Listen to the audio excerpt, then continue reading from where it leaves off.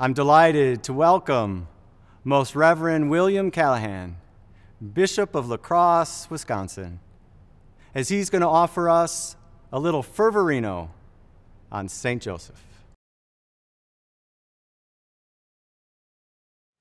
From the earliest days of my life, I have strongly been attracted to the Holy Family of Jesus, Mary, and Joseph. So many aspects of that simple, holy family called me deeper and deeper into God's love for us as His own. Hello, everyone. For those of you who may not know me, I am Bishop William Patrick Callahan of the Diocese of La Crosse, and I am a lifelong follower of St. Joseph. From my earliest days, I always thought of him as being particularly chosen by God to be the protector of the Holy Family, the husband of Mother Mary, the guardian and foster father of Jesus, and God's choice to protect the church from the very beginning. One way or another, those thoughts have matured in my life as I have grown older. There have been many instances of St. Joseph's special protection throughout my life, and we don't have time for me to go on about them, but I do see St. Joseph in many circumstances where he has been a hero and a role model. I have referred to him in marriage preparations, especially for grooms. I have called attention to him in the confessional, especially in speaking to situations where domestic disputes need special handling. One opportunity that particularly strengthened my devotion to St. Joseph came during my seminary days while studying sacred theology. My classmates and our director took a trip from Toronto, where we were studying, up to Montreal, to the real Mount Royal and the heart of the city, St. Joseph's Oratory. The oratory is massive and it provides great views of the city. Inside, images of St. Joseph surrounded by vigil lights were abundant. In almost every place where one could find a statue, a painting, or some other sort of rendering featuring St. Joseph, one would find the subtitle, Ite ad Joseph. The Latin translates, Go to Joseph. I've only been back once as a priest, but I have taken the message, go to Joseph, wherever I have ministered.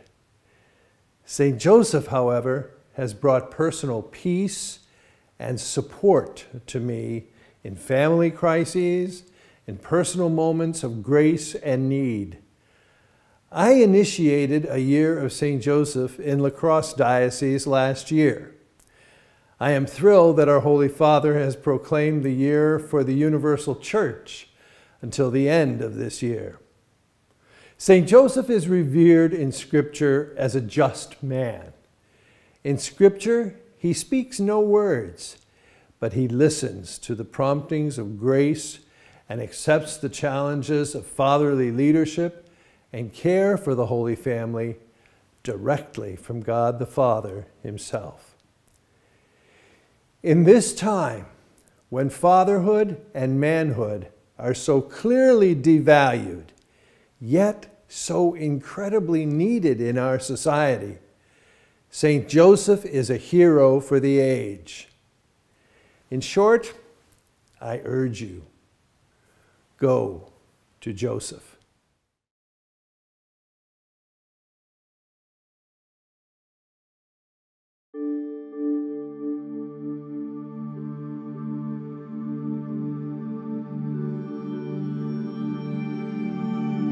In the name of the Father, and of the Son, and of the Holy Spirit. Amen. Glorious Saint Joseph, who has been elevated by an ineffable design of God to the dignity of spouse of Mary and foster father of Jesus, and who has been proclaimed as patron of the universal church. With joy we kneel before you to thank God for the privileges bestowed upon you, and also for the dignity to which he has raised you among all men. Blessed are you because you have consoled, assisted, and protected the august Virgin Mary, your immaculate spouse. Blessed are you because you have devoted yourself to our divine Redeemer Jesus, sparing no trouble to clothe him, to protect him against the snares of his enemies, to save him for the salvation of the world. Blessed are you because you have always been the consoler, the defender, and the supporter of the church in its trials. Blessed are you because no one has ever had recourse to your protection or implored your aid without obtaining relief. We kneel before you to place ourselves among the number of your children and in the shelter of your powerful protection. We shall always love and honor you as our kind Father, and we beg of your goodness, O dear Joseph, that you accept us as your beloved children, that you take into your hands our interests, temporal as well as spiritual, and that you defend us against the snares of the devil, protect us against the dangers with which we are surrounded. Direct us, O most loving Father, to the love of the divine heart of Jesus, to an unswavering fidelity to the Holy Church, to a filial affection for the Blessed Virgin, our Mother, so that by your help we may enter heaven to glorify God together with you during all eternity. Amen. Hail, Joseph, son of David, most pure spouse of the Immaculate Mother of God, and faithful guardian of our Lord Jesus Christ. Pray for us, your children Pray for our loved ones whom you have graciously accepted into your protection and your mighty patronage.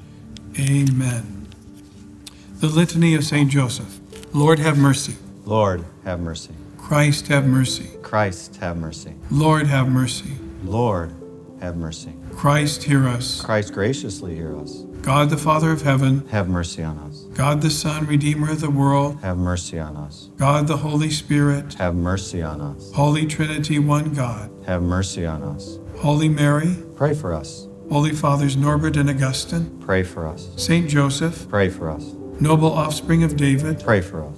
Light of patriarchs, Pray for us. spouse of the Mother of God, Pray for us. chaste guardian of the Virgin, Pray for us. foster father of the Son of God, Pray for us. zealous defender of Christ, Pray for us. head of the Holy Family, Pray for us. Saint Joseph most just, Pray for us. Saint Joseph most chaste, Pray for us. Saint Joseph most prudent, Pray for us. Saint Joseph most courageous, Pray for us. Saint Joseph most obedient, Pray for us. Saint Joseph most faithful, Pray for us. mirror of patience, Pray for us. lover of poverty, Pray for us. model of workmen, Pray for us. glory of domestic life, Pray for us. guardian of virgin, Pray for us. pillar of families, Pray for us. comfort of the afflicted, Pray for us. hope of the sick, Pray for us. patron of the dying, Pray for us. terror of demons, Pray for us. protector of our holy church, Pray for us.